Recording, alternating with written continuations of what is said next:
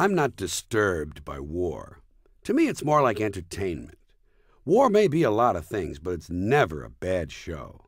It's the original greatest show on earth. Otherwise, why would they call it a theater of war? I love it. And as far as I'm concerned, the show must go on.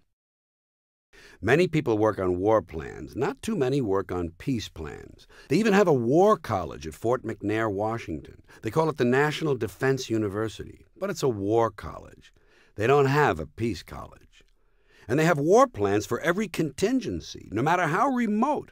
If Easter Island gives us some crap tomorrow, we have a plan and a computer that tells us exactly how to thoroughly bomb the shit out of Easter Island. You name the country, we've got the plan. Chad, Myanmar, Upper Volta, Burkina Faso, Liechtenstein. Just give us some crap and we'll come there and bomb the shit out of you, 'cause we've got a plan. Peace on you, but only if you really deserve it. Thank you.